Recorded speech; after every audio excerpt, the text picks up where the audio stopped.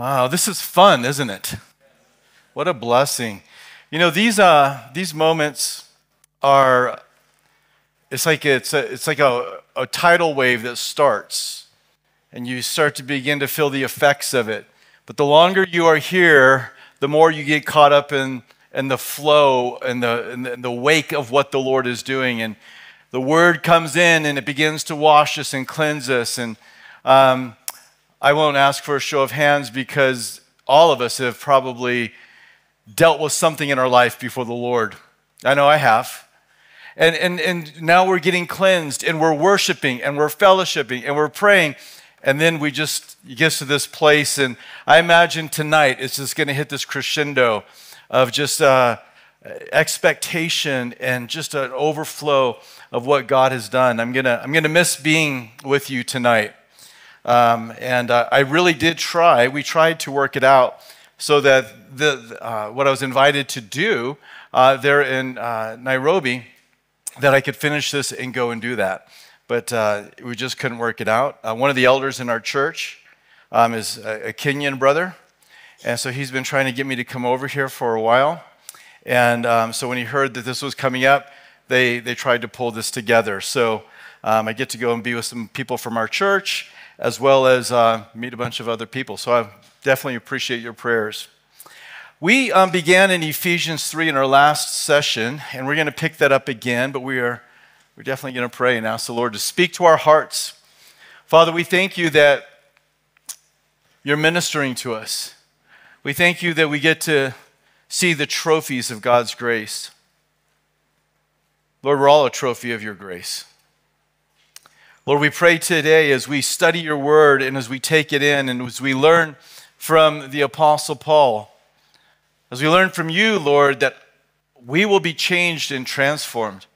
I pray that heavy hearts will be lifted.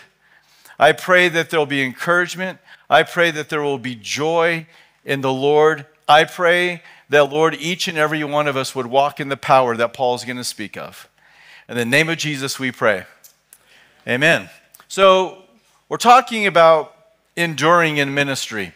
Again, I said it doesn't matter if you are a person who's uh, maybe you're 15 years old in here, and you're like, I'm not in ministry. But you know, if you're a believer, He's giving you ministry, He's giving you a spiritual gift to use, and you need to be faithful in it. Some of you spend your entire life laboring in the gospel, and we will, you know, this obviously is going to have application to, to you and to me as well. But the three points that we've covered so far in Ephesians 3 is that Paul esteemed the unity of the church, even in peril, even in difficulty. And this is how we endure. We endure by walking with each other and having fellowship and unity we are going to endure by having that right perspective. I am a prisoner of Jesus Christ. I am not a prisoner of my uh, of circumstances or I'm not a victim. I trust in the sovereign God and if you have that understanding of God then you are going to be able to endure. The minute you begin to think that you are a victim of somebody else's evil plotting and planning, you're done. And we can't do that because we have a God who's bigger than all of that. The third thing that we talked about is that we needed to be faithful stewards, right? That, that imagery of, of having an open hand or a closed hand. Something has been given to me. It's been given to me to give to you. But it's also been given to you that you might give to her, that you might give to him, that you might give to the world around you. And so we need to be faithful stewards. Now, as we move into this next section, I want to move on down to verse 7. So I'll, re- I'll read from verse 3 to 7, and we'll come up with this fourth point, and that is that Paul ministered effectively by the power of God. Let's read. How that by revelation he made known to me the mystery, as I have briefly written already by which, when you read, you may understand my knowledge in the mystery of Christ, which in other ages was not made known to the sons of men, as it has now been revealed by the Spirit to his holy apostles and prophets, that the Gentiles should be fellow heirs of the same body and partakers of his promise in Christ through the gospel, of which I became a minister according to the gift of the grace of God given to me by the effective working of his power. If we're going to endure in ministry, we need to do it in the strength and the power that God gives to us. Paul didn't just have a proper perspective, that's necessary, but he also was empowered by God himself to go and to proclaim this message in a place where really it was going to be rejected. There were some that received it, but his life did not end with him being applauded and celebrated. It ended with his head being chopped off. And so he needed this power, but we need the power of the Holy Spirit as well. We want to be effective. I want to be effective for the kingdom of God. And just a side note, let's always check why we want to be effective. Do I want to be effective because that makes my dreams of a minister and ministry come true? Do I want to be effective because I'll have a better reputation? Or do I want to be effective because God has given me a task to do and I want to be faithful and accomplish it? There is a difference. And sometimes it's hard to tell, but if you spend time with Jesus, He'll let you know. He'll let you know whether you have the proper reason and the right motives for wanting to be effective. God has left his servants with the means to effectively do the work of the kingdom of God. We don't come short in anything. Brother, sister, you don't need anything else other than what you have already been given. You don't need another class. You don't have to figure something out. You don't have to figure out the secret that that guy knows or she knows. You have everything that you need for life, for godliness, and for ministry. He's given it to us all. As a matter of fact, Jesus said, Those things which are highly esteemed among men are an abomination in the sight of God. Be very careful of esteeming what the world has. Oh, if we had more money, if I had this, I had a better education, then people would respect and they would come. Those things are an abomination to the Lord. So, what has He given to us? Well, He has given us prayer. The ability to sit and to call upon God and hear for, from the Lord on how to be led and directed in ministry, how to be, uh, to pour our heart out in, in, in our pain and our sorrow, and to, and to lay it before Him so that He might minister to us. Prayer. Prayer is so important. I don't think there's probably any believer that would say, eh, don't need prayer. But if we were to measure prayer by our involvement in it, well, now that's a different thing, isn't it? You know, people will come and they will listen to a man preach, but if you want to get that same group of people to come and sit at the feet of Jesus and talk to him, you might get 5% of them. That's not very popular. We need to be people that are praying and waiting upon the Lord. Our pastor, Pastor Chuck, said, Get your people praying and keep your people praying. It's a lot easier to get them praying than it is to keep them praying. But we've got to do that. We've got to pull them in. This is what the Lord wants us to do. You read through the book of Acts and you see that they were a praying church. You look at the ministry of Jesus and he got up early and went away before anybody else was up and he prayed, or he prayed all night. We need to pray. The other thing that we've been given, and there's been a big emphasis on it, but it's the Word of God. You have the Word. You have that expression of the intelligence and the reasoning and the heart and the love of God in the Bible. We need to preach that. We need to use that. This is the difference. We also have the love of God shed abroad on our hearts, by which we now know how to love one another. This is it. The world will never get that. They will never get that kind of love outside of Jesus. I mean, the world, do, would you agree with this? The world is angry right now. Man, I look at my country, America is angry. America's mad. America is unhappy. But I think it's around the world. There is an anger. And here we are, the church of Jesus Christ, with the love of God touching our hearts, and we have the ability to show kindness and love to people. They don't get that out there in the world. They can only get that from Jesus, and Jesus will funnel his love through you. We have the gospel, which was just so beautifully declared to us. We get to preach it. Those are our tools. and then we have the power of the Holy Spirit. I want to ask you something. Why is it that you have dismissed, if indeed you have, why is it that you've dismissed yourself from walking in your giftedness? What is the reason, young man or young woman, what is the reason why you have decided, I'm not going to be used of the Lord? I think I know what God wants me to do. Every time this uh, request for help is mentioned in the church, I always feel that stirring in my heart, but I'm not going to do it. Why have you dismissed yourself from serving the Lord? Maybe some of you have been in ministry for a while and you're thinking of dismissing yourself because of various reasons that, well, we'll talk about a few in just a moment. But why have you dismissed yourself? Well, I'm too poor. I'm too uneducated. I'm too hurt. My life was too sinful. Well, I mean, we just heard of the grace of God and how it changes and transforms. But why have you dismissed yourself? Well, I don't have gifts like that man. I can't sing like her. I can't, you know, communicate like that. I don't have those abilities. And so we dismiss ourselves from being used by the Lord. There's a story in the Old Testament, it's Numbers chapter 13. You can go read it on your own later.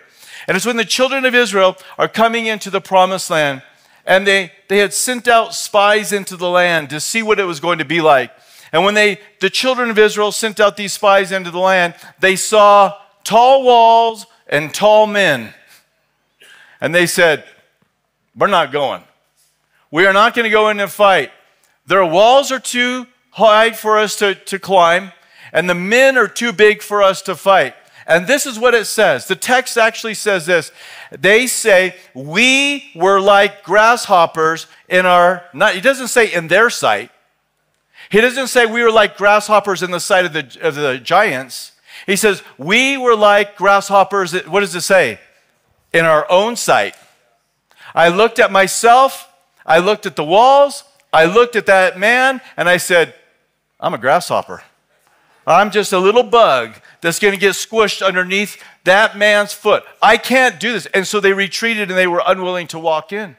But you know, the, the Lord, He's gives you all the strength. He will give you all the power that you need. The Lord loves to choose, uh, loves to use those that are weak and to use those that are powerless. The, if you're like, well, but I'm really powerless and I'm really not gifted, then you're just going up further on the list of God's list of who He wants to use. No, not me. I could never do it. That's exactly who He wants to use. And we have so many Bible stories that tell us the story of Gideon. God used Gideon because he was the weakest man in Israel. When God showed up to him, he says, Oh, mighty man of valor. He says, You went to the wrong tribe. You went to the wrong family, the wrong clan, and I am the weakest of everybody. You went to the bottom of the barrel of Israel when you called upon me. And he says, Yeah, I know. That's why I'm going to do this. Because when I do this work through you, nobody's going to say, Wow, Gideon is awesome. Gideon is amazing. No, he says, Everybody knows that you are just who you described yourself to be. That's why you're my man. And then, even still, you know how he, he shrunk the army down. So it was just a handful going out to battle against an innumerable host of Midianites so that God would get the glory. And, and so, why is it that you've dismissed yourself? And if you're like, Well, I don't know enough, pick up your Bible and start reading it. Get to know the Word of God. But listen, I think all of us will feel like we don't know enough. There's always more to know about the Lord, there's always more to do. So, listen, brother, sister, who's sitting on the sidelines and not getting engaged in, in, in using your gift and doing the work the Lord has called you to, enough with that. You know, really, Pride, we usually think of pride like this pride is, I'm amazing, I'm awesome, aren't you glad I'm here? I'm sure you're blessed that I am here. That's pride. Pride is, is looking at myself and being preoccupied with myself. But if you turn pride inside out, you know what it looks like? I'm nobody. I'm nothing. I couldn't do anything. It's still a preoccupation with who? Yourself. Get your eyes off yourself. Get it on the Lord and, and the tools and the gifts that He has given to us. You know, the church at Philadelphia, the, church, the book of Revelation And if you read the church of Philadelphia, God says, I've chosen you because you are weak, because you have no strength. I've chosen you to be that church that's going to walk through the open doors that I'm going to open up. And so, Pastor, if you are sitting saying, Well, we could never do something great for the Lord because our church is too small and we are too weak, that's exactly who God's looking for. He's looking for that. If you read it, if you there in Revelation, I mean, it's such a great account. It's Revelation chapter 3. Um, there, the church of Philadelphia, beginning at verse 7, he says to the angel of the church of Philadelphia, Write, These things says he who is holy, he who is true, he who has the key of David. He who opens and no one shuts, and shuts and no one opens. I know your works. I see I have set before you an open door, and no one can shut it.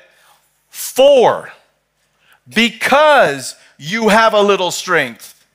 I've chosen you because you have a little strength and you've kept my word and you've not defiled my name. But how does Jesus introduce himself to this weak church that he's calling to a big task? He introduces himself as the one who has the key of David. What does that mean? Well, the key of David was a, a, a reference to a steward who would go into the kingdom's resources and would open the door and pull them out. In the book of Isaiah, I think it's Isaiah 26, you can check me on it, but there was, there was a man by the name of Shebna. And, and Shebna was a man who had the key of David. But he was a selfish man. He made, you know, uh, this massive tomb for himself that he would die and live in, everybody would remember. He took money in for himself. He blessed himself. And when he died, nobody cared. But then the Lord raised up another one whose name was Eliakim. And Eliakim was a righteous man. Eliakim was just a man, but he was a good man. And it's interesting as you read through Isaiah 26, it says that he, he will be like a, a, uh, a peg, uh, you know, something that's put into a wall. It's put into the wall, and you can hang stuff on that peg. And he says he'll be like a peg, but then he's going to be pulled out because every man can only do so much. Every man can only live for so long. And then there's gonna, he's gonna pull out of the wall, and another man or another woman will step into that place. And then the nation or people can hang their hopes upon him because he's a good man. Well, that's who Eliakim was, but he was only a man. But here, who's the one that has the key of David? Is it Shebna? Is it Eliakim? No, it's Jesus. And Jesus is good. And Jesus has access to all the resources. And Jesus will never pull out of the wall. Jesus is always going to be there for us. And so this one says, who has the access to all the resources of heaven, says, I've set before you an open door, but we don't have enough strength. Yes, I know. That's why I chose you. Do you see that? And so often we dismiss ourselves from stepping out because we're weak, because we don't have the resources, because we're not like that church down the road, because we don't sing like her, because I don't have the personality like him to meet all these people. I'm not friendly, I'm shy. And we dismiss ourselves. And yet the Lord is saying, But I have the key of David. I have the key of this. So step out into the things that I am calling you into and leading you into. Listen, I mentioned them already, but let me just give you a quick list of what are not the tools of God's kingdom. It is not money, it is not reputation, it is not manipulation, it is not your anger trying to force people to walk in righteousness. That is not a tool. That is not a tool. And it, we've already talked about this, is not lording over people and demand. None of those are the tools of the Lord. But what he had supplied for Paul was power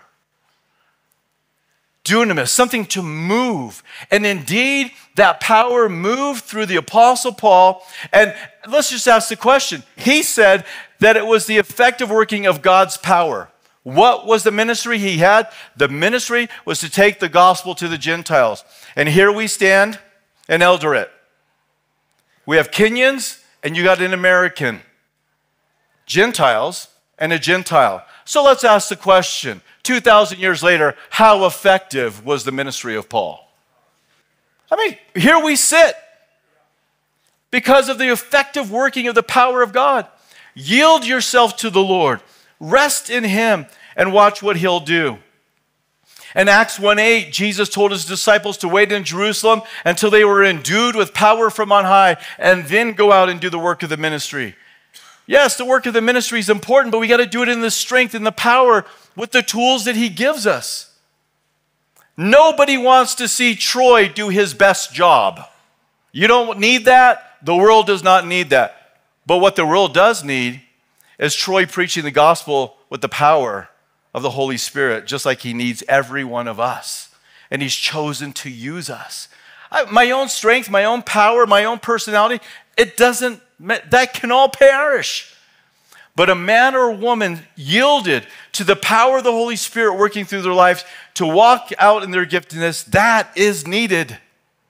That's God's desire. Listen to the words of Paul. It's 1 Corinthians uh, chapter 2, verses 1 through 5. Listen to these words to those of you that have dismissed yourself from serving Jesus because you're weak and you're not very eloquent. Listen to these words. And I, brethren, when I came to you, did not come with excellence of speech or of wisdom declaring to you the testimony of God, for I determined not to know anything among you except Jesus Christ and Him crucified. That's all that we have that's worth saying. Verse 3 I was with you in weakness, in fear, and in much trembling, and my speech and my preaching were not with the persuasive words of human wisdom, but in demonstration of the Spirit and of, and of power, that your faith should not be in the wisdom of men, but in the power of God. So we say, oh, I can't be used by the Lord because I'm too weak and I'm too powerless. And yet, that's exactly how God wants to do it. He's not looking for people that got it all together. He's looking for people that understand they need the Lord to work in their life and through their life. The Holy Spirit was sent to the believers to help them in the proclamation of the gospel, to help in walking out the Christian life, to help use the spiritual gifts we're given to edify one another. And the Holy Spirit gives gifts to every single believer. When Zerubbabel was rebuilding the temple in Israel, Babylon had destroyed it. They're rebuilding this temple. And the Lord came to him in this super difficult task. And he says, It is not by might nor by power, but by my spirit, says the Lord. He was taking stones and he was putting them together to rebuild the temple that Nebuchadnezzar had destroyed. Well, guess what? We are working on a temple as well. And it's the temple of the Lord. It's, and it's made up of living stones. And the Lord gives us His power to put the living stones together, to, to be an encouragement in the life of the church. And so we have much of the same task. Well, when do I need the Spirit? Probably better to ask, when don't you need the Spirit? If I'm going into a counseling appointment, I can never remember a time when I haven't. Probably have. But I always take a, few minutes and say, Lord, Give me your spirit. Fill me with the words to say to this individual. May I hear them. May I hear even what they don't say that you want to tell me. Give me the gifts of the Spirit that I might minister to them when I'm teaching, when I'm serving, when we're making leadership decisions. I want to be filled with the Holy Spirit. I, I don't want to do what I think, I want to do what the Lord wants, and the Holy Spirit will do this for us. Too often we fail to accomplish what the Lord wants because we're doing it in our own strength. My power, my flesh. I'll push harder. I'll work longer. And nothing's being accomplished. If that is you, I just ask the question when is the last time you've been on your knees before the Lord and saying, I have nothing?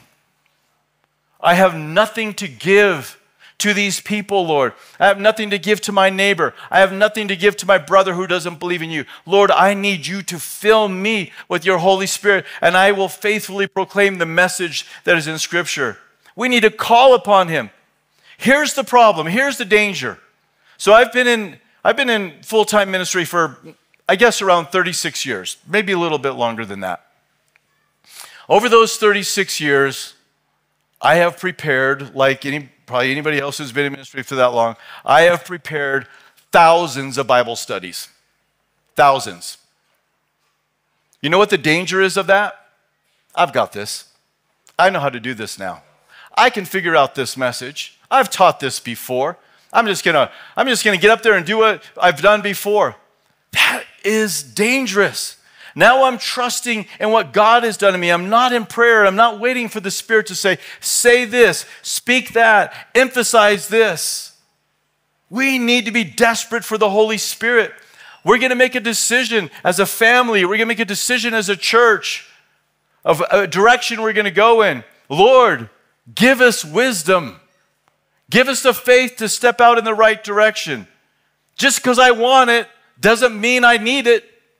And if I step out to get something that I want and it's not in God's plan, it's not going to be a blessing. It's going to be a weight. And so we, we call upon the Lord. We spend time. Read Acts 13, the first opening verses, where you see the leadership of the church getting together and fasting and praying and waiting upon the Lord. What do you want to do, Lord? I think sometimes our prayer is, Lord, we've got a great plan. We think you're going to like it. We've decided we're going to do this, this, and this. And so now what we really need from you, Lord, is we need to, you to get behind our idea. Wrong. That's not how we do it. Jesus is King of kings and Lord of lords. He is the head of the church. We come before him and we say, Lord, we have an idea, but we don't know if it's a good idea or a bad idea. And so we wait upon you and we, we fast and we seek your face. Fill our minds with your Holy Spirit so that as we, we talk about the options before us, we'll be able to discern what is of the flesh and what is of the spirit. Oh, there's not an area of life where we don't need this to be working. So that's number four, right? Is that he endured in ministry because he had the power of the Spirit working through him. And as leaders, we need to make certain that we are calling people to be filled with the Spirit. I, I, love what Pastor Ken did last night. He called people forward, they received Christ as their Savior. What's the next thing he prayed for? For them to be filled with the power of the Holy Spirit. Well, do you believe you should be filled once or twice? Listen, if you're telling me I only get to be filled twice with the Holy Spirit in my life, I'm very disappointed. Because I need to be filled with the Spirit every day, all day long, multiple times a day. I need to be filled with the Holy Spirit every day of my life. And so, to me, this argument, and I get it, I understand the theological argument, but it's such a foolish argument. Because I need to be filled with the Holy Spirit tomorrow. I need to be filled with the Holy Spirit the next day. And all of, the, of, of us are in that same place. So we need to live there. The next point that we see in verses 8 through 12, and this is one that I think is so important, and that is Paul understood the privilege of ministry. Listen to him. What does he's just blown away. He is like, I can't believe I get to do this. Listen to this. To me, who am less than the least of all the saints, this grace was given to was given that I should preach among the Gentiles the unsearchable riches of Christ and to make all see what is the fellowship of the mystery which from the beginning of the ages has been hidden in God who created all things through Jesus Christ to the intent that now the manifold wisdom of God might be known by the church to the principalities and powers in the heavenly places according to the eternal purpose which he accomplished in Christ Jesus our Lord, in whom we have boldness and access with confidence through faith in him. He's like, I cannot believe that this guy gets to do this ministry. He endured in ministry because he always remembered it's a privilege that he did not deserve. Who am I? I am less than the least of all the saints. I deserve more. Do you deserve more? Why do you deserve more? Who are you? Are you more than all the other saints? Or do you looking at yourself as less than all the other saints? And so for Paul, it's like this is a privilege. And we can be so excited when we first start stepping out. I'm going to serve in the media team. I'm going to be on the worship team. I'm going to be on the clean team. I'm going to be able to do the youth. I'm going to be able to preach my first message. I get to go out and evangelize. And we're like, I can't believe I get to do this. And then a year goes by. And you're like, those dumb kids. They never appreciate what I do. I don't think the pastor has once said thank you to me. I don't know that I'm going to show up anymore. You know, oh, the media team, we have such terrible technology. I mean, we don't like the stuff that we. And now we start to complain. We start to, to look at ministry not as a privilege, but as, a, as something that's a problem. Paul warned us to not let the present sufferings of this world ever deter us. You're going to have trials in ministry. Jesus spoke to let, not let the cares of this life come and choke us out. Jesus gave the parable of the rich farmer who did not realize that his soul was required. All of these things will help us and keep us from failing to see the privilege. You know, think about this. You get to walk in a long line of men and women who have had faith in God and have been used by God. You know, when I think about being in this line of men that know Christ and get to serve Christ. And I love to think about it. There's, you know, Abraham and Isaac and Jacob and David, these men of God that he used for his purposes. And now I, the baton's now been handed off to my hand. They ran their race well. How do we know that? Because the baton's in our hand. It's in our hand. And this is our generation. We look at the world that we have right now, it is our generation. Is to, to bring the gospel to them. And I think that the Lord knew you were going to be alive at this time. And He has you here for such a time as this. But you know, we can begin to complain in ministry. We begin the things that we once were just blown away that I get to do, we suddenly begin to have a bad attitude about. How do you view your opportunity to serve the Lord? Helping out in the children's ministry, helping out cleaning, evangelizing, whatever it is that you do. How do you view that? Are you still amazed that your hands gets to touch the kingdom of God? Well, I just think I deserve more. Here's the truth. The least of the works of the kingdom of God are still way above our pay grade. You're, I'm more qualified. Listen, None of us are qualified enough to push a broom in the kingdom of God. We need to be humbled. We need to have that low view of ourselves and a high view of the king and the kingdom. And that I get to touch it should be mind blowing. But we all have those moments, don't we? We all have those moments. We talked about Judas who lost that sense of privilege, and we know what he did. So I've shared this, some, some of you American brothers have probably heard this story before, but when I, when my wife and the team, we planted this church some 30 years ago. And as we were getting ready to go um, over there, I would have these newspapers delivered to my house to see if there were jobs, to see if there was a place, um, a home to live in. And every time I looked at that, that newspaper, I got so discouraged. I'm coming from Southern California and what they were paying in Lynchburg, Virginia, I was making that as a junior in high school. I'm like, ah, I don't know how this is going to work out. And so I had these newspapers that would come to me in California, 3,000 miles away. And I look at them, and every time I look at these newspapers, it would be discouragement. My wife said, Stop looking at those newspapers. Stop it. God's going to provide for us. And I stopped looking. I, I took her advice. I stopped looking at those newspapers. So then we arrive into town, and one of the things that my, my wife said, she says, You are not going to have to get a job. God is going to provide. And I said, I feel like the Lord is saying that too, but how is that going to happen? We don't know anybody there. There's like three families. How, how, are they? They can't support us. And we just said, The Lord's going to do And the Lord did that. Until we got into a building project, a little, it was just a small, small, small room. And um, we, we were doing some rearranging, and we ended up the, spending more money than we had. And so I had to find a job. I had been there two years and hadn't had to work. But now, two years into it, I had to go get a job somewhere, which was fine, but it made me wonder at times I wonder if this is the way it looks just before everything goes downhill. I wonder if this is how it looks before everything comes to a halt. But, you know, I stepped out and I got a job. Guess what my job was? Delivering newspapers. It's true story. The same company. So these in America, um, not so much anymore, but used to, people would, would subscribe to have a newspaper thrown onto their yard or put in a box like their mailbox. And so I do this. I don't know, I had like 600 newspapers that I used to deliver from 3 a.m., had to be done at 6 a.m. And so I was going through and I was delivering these newspapers, and um, I came to the last one, and for something, I don't even remember what it was. I think they hadn't paid me. That's what it was.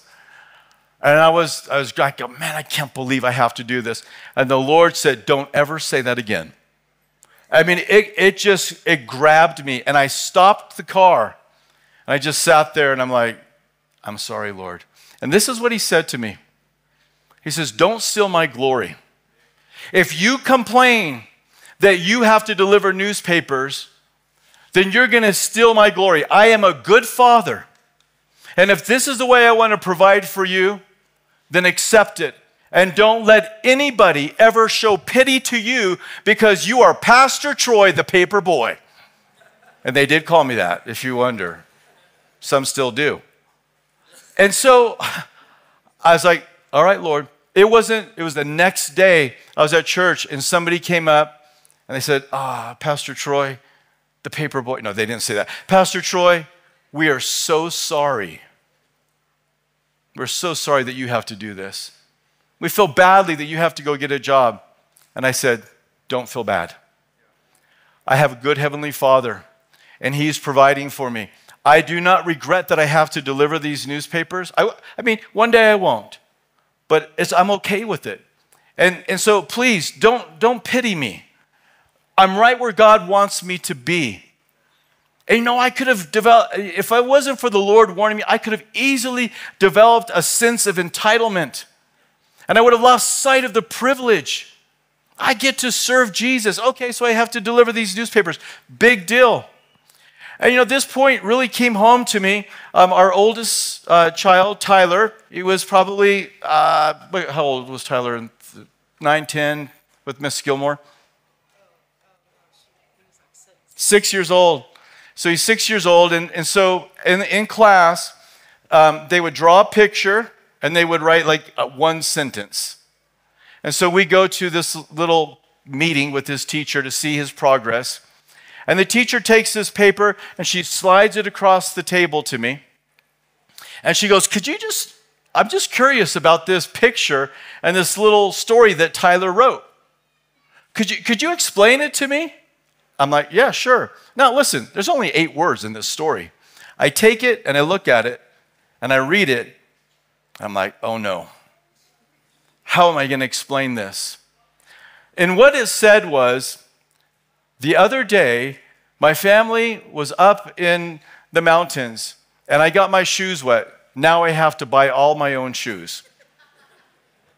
And, and what the teacher was thinking is, how are you going to make a, this little boy buy his shoes. And, and that is a true story. I, you know, I, I told Tyler, you can go down by the creek. Remember, I'm Pastor Troy, the paper boy. We don't have money. And I said, so you do not get your shoes wet. Well, he was in the creek.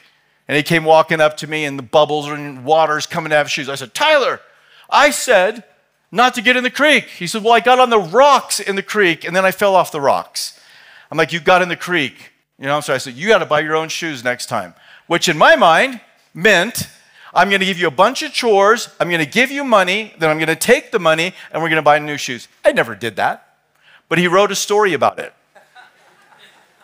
How do you think this dad feels in that moment before that teacher with her thinking that I'm not going to buy my child clothes? Like a bad father, that's how I felt. And then the Lord said, This is what you do when you complain about my provision. You make me look like a bad father, and I am not a bad father. You rob my glory if you complain about the provision that I'm making in your life and the way I bring it. Your job is to give me glory. Your job, my job, is to give him glory. But his job for me is to provide. And however he provides, I must give him glory. Don't allow that sense of awe and wonder and privilege to be lost. Because when you do, it'll wipe you out and it'll also wipe out other people. If God's not faithful to her and she loves Jesus, he's not going to be faithful to me. She's complaining that God's not coming through. God's probably not going to come through for me. And we rob the glory of God. Do you see that? Last thing, and only got a few minutes here. Last thing I want to share with you is um, down in verse 13. He says, Therefore, I ask that you do not lose heart at my tribulations for you, which is your glory. the guy in prison is speaking to the church to not lose heart because he's in prison. Is that the way you would write it? Or would you say, hey, I'm not, you know, I'm trying not to lose heart. Pray for me. I mean, that's what we'd expect. I'm the one in prison, but the prisoner is the encourager. The one in jail is the one that's encouraging those that are outside of jail. And he's in jail that they might know Jesus, and he doesn't want them to lose heart. There are so many things that can cause us to lose heart. It might be a, a prayer that you've prayed that's delayed, the answer is delayed in coming. You know, Rebecca and myself know a prayer that we prayed over 30 years ago, probably 32 years ago. You know, it took 27, 28 years before we saw that prayer answered. But the Lord is ama- amazing in how He has answered that. Don't lose heart. Don't, if you lose heart, you'll be wiped out and you will never finish. The enemy, Satan, loves to use discouragement in our faith. He loves to use discouragement in the ministry. Are these teens ever going to understand what I'm saying to them? Will they, you know, another child, another teen that's not walking with the Lord, another marriage that's failed in the church, another person who's back on drugs or alcohol? Lord, what's it all for? I don't see the fruit. And they can discourage us. I think if we're all honest, there's times in which we have been discouraged, and the enemy would love to take that discouragement and change it and use it so that we would lose heart and that we would give up. Don't give up. Understand that discouragement is not from Jesus. He does not discourage. Oh, he'll convict. But do you know what conviction feels like? Conviction feels like that wasn't right. And the whole time he's saying that, you feel him drawing you into his arms. You feel him pulling you in. That's not discouragement. Discouragement is like, quit, go away. You've never been any good. God can never use anybody like that. Your mom was right when she told you you were useless. And that's discouragement. And we need to make certain that we do not lose heart, that we do not become discouraged. Jeremiah was a man called into ministry, and he had a tough one. And the Lord came to him on what I can imagine was only a day when he was discouraged. And it's in Jeremiah 12, verse 5. It says, You have run with the footmen, and they have wearied you. Then how can you contend with horses? And in the land of peace in which you trusted, they wearied you. Then how will you do in the floodplain of the Jordan? You know what that's saying? If the small things have wiped you out, how are you going to be ready for the big things? I found so much encouragement over the years when I was running with the footmen and I was discouraged. And that verse would come to my mind, and the Lord would say, Don't be discouraged. One day you're going to have to run with the horses. There's going to be bigger challenges in your life. I'm like, Lord, I want to run with the horses. You know, you, you walk on a flat plane and you're tripping up and you're falling when the ground is level. What are you going to do when you're walking through the middle of the jungle? Lord, I want to walk through the jungle. I don't want to trip and fall and stay down. I want to get up. And so, one of the ways in which the Lord sought to uh, encourage, discourage Jeremiah was to say, There's some great things coming, and you need to buck up, soldier. You need to get ready. You need to get ready for what's coming. And you, we must encourage ourselves in the Lord. I'm going to do it. I'm going to run. You know what Jeremiah was lacking in chapter 12? Was a Caleb spirit. Remember Joshua and Caleb? We kind of alluded to the spies that went in, only two believed. It was Joshua and Caleb.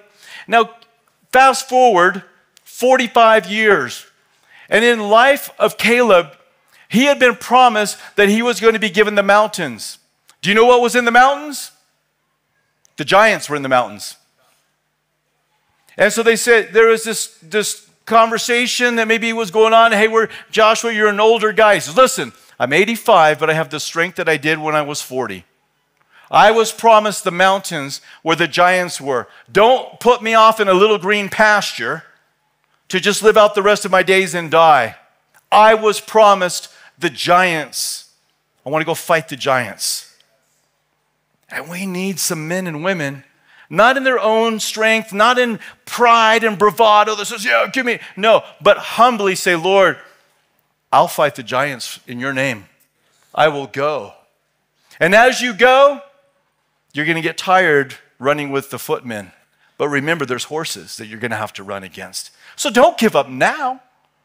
I close with this one story, and, and I hope it's a, it's, a, it's a story that means so much to me because of what God has done. And in many ways, it's just representative of just the ministry that God has called me to, but you'll be able to relate it to yourself. When we had started this church, it was a small little gathering.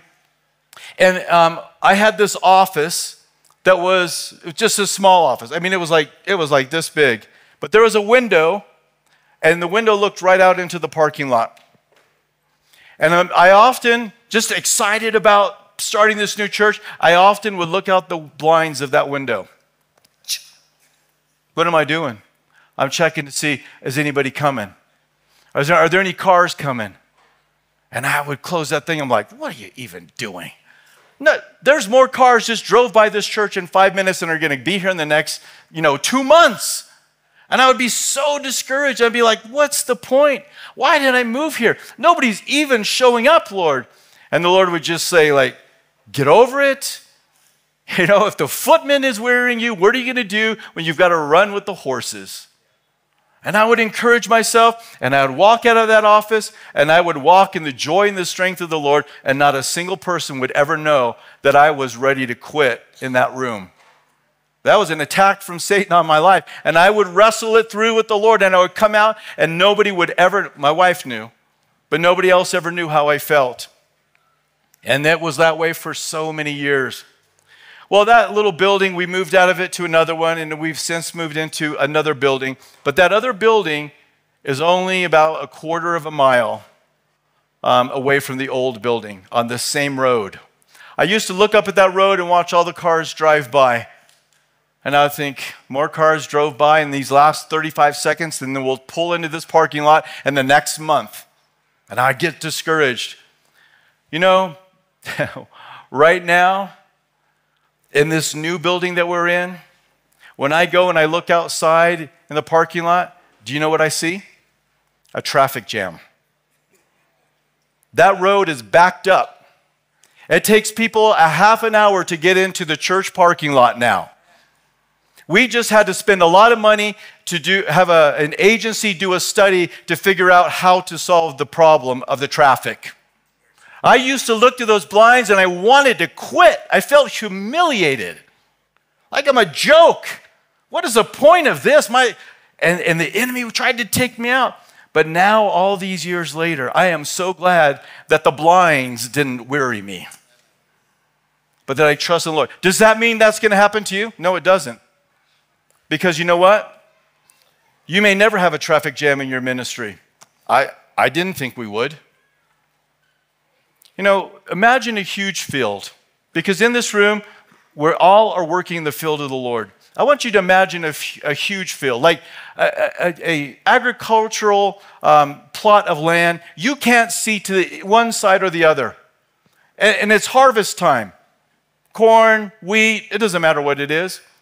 But as you look in the distance, you see these three massive tractors, and they're just they're, they're taking up the fruit.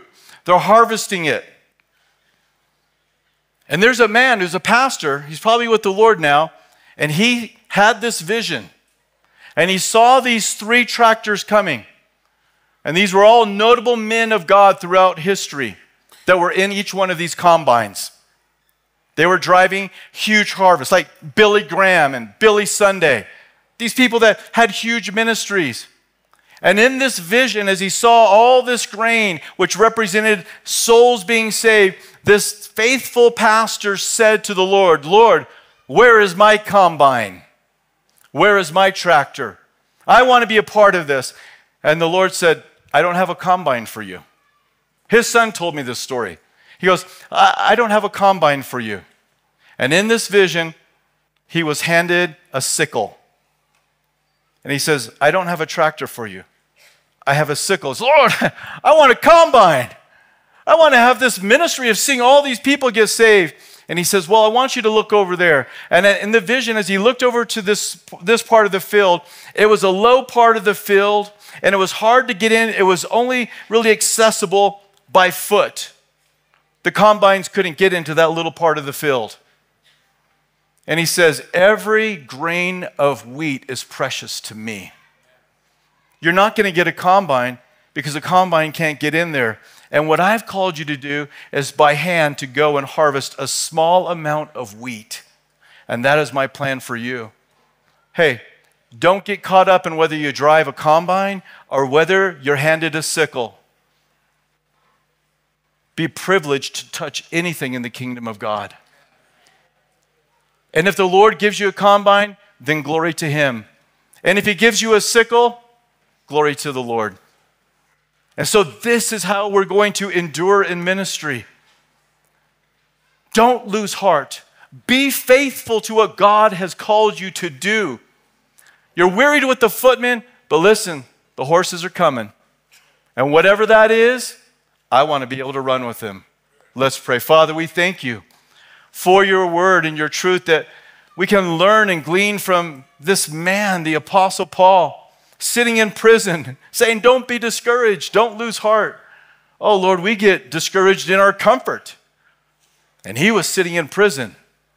We pray that you would encourage us by your Holy Spirit right now. That, Lord, the, the small ministry, the corner of the field that maybe we're in, and wishing we were on the big tractor combine, Lord, I pray we, that thought would just go from us. I pray that each and every one of us would just have a sense of joy and thanksgiving. Lord, we want to go take the mountains. We want to be used by you with your power and your strength for your glory to take down the giants that hold men and women's souls captive. Lord, we surrender ourselves. We say, fill us afresh with your Holy Spirit. Lord, we count it a privilege to touch anything in your kingdom. And it is in your name we pray. Amen. Amen. God bless you.